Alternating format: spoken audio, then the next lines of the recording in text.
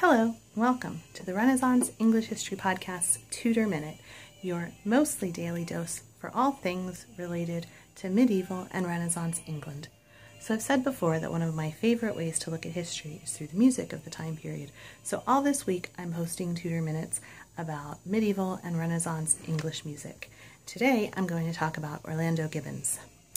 Gibbons was born and christened in Oxford his father, William, at the time was working as a wait, which was like a town piper. So music was in their blood. He attended and sang in the King's College, in the choir of King's College, Cambridge. Um, sometime around 1598, he was there. His brother, Edward, his older brother, was the master of choristers at the time.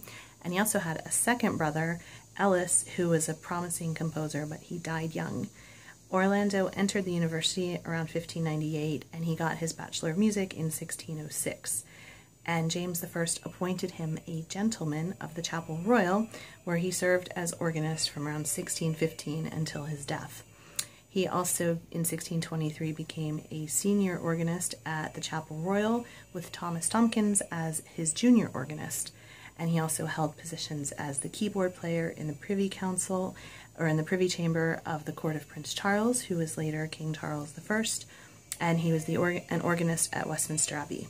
He died at age 41 in Canterbury of apoplexy, and a monument to him is built was built at Canterbury Cathedral. He was one of the most versatile English composers of the time. He wrote a large number of keyboard works. His keyboard works were actually championed um, and rediscovered and championed in the 20th century by Glenn Gould, a very famous pianist. Um, he also wrote a number of madrigals. The best known one is The Silver Swan, and many popular verse anthems. His most well-known verse anthems anthem is This is a Record of John, which sets an Advent text for solo countertenor, alternating with a full chorus.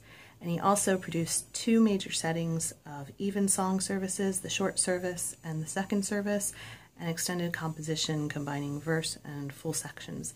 And his full anthems include the expressive O Lord in Thy Wrath and the Ascension Day anthem O Clap Your Hands Together for eight voices.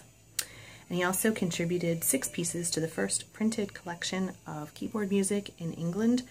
Um, he was the youngest of three contributors at the time, and that was published around 1611 and his surviving keyboard output comprises about 45 different pieces. Uh, the best represented is the polyphonic fantasia and dance forms. So he was incredibly versatile.